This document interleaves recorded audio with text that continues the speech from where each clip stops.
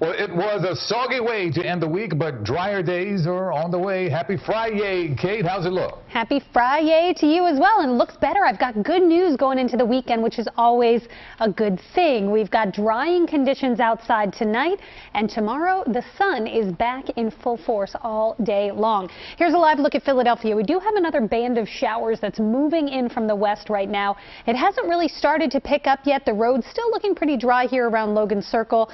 Current conditions not reporting much rain yet at the airport, but within the hour, that last gasp of this front will move on through.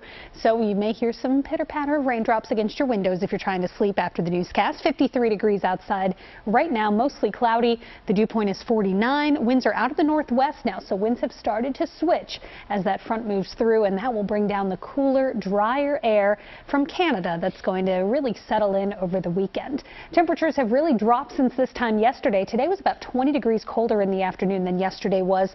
And even right now, it's anywhere from 10 to 15 degrees colder than it was last night. And even colder air across central Pennsylvania just poised to make its way on in. So Storm Scan 3 again showing the heaviest of the rain has moved on out.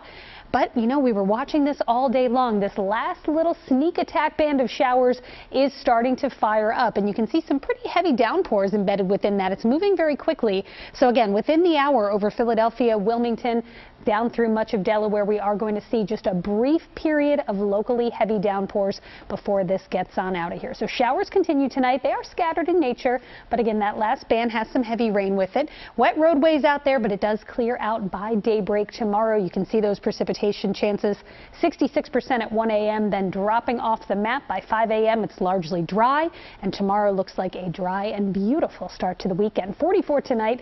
That'll be the temperature right around daybreak. It'll be kind of chilly. The weekend is chilly as well. Clearing and cooler tomorrow, 60 degrees. Sunday, 65, a sensational fall Sunday. Perfect for the pumpkin patch this weekend. If you haven't gotten there yet, this weekend will treat you nicely. 60 tomorrow. Great football weather Sunday at 65, then back to 70 Monday.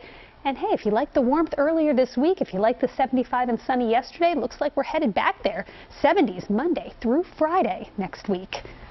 Natasha we'll send it back over to you. All right, sounds good. Thank you so much, Kate.